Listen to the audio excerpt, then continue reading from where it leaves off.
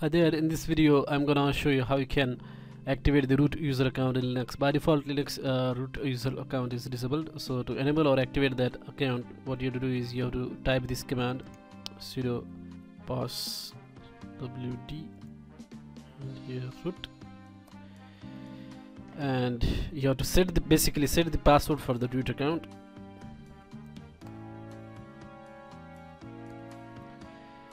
as you can see I have set the password for that uh, root account and I can uh, use this command to log in as root su that is switch a user.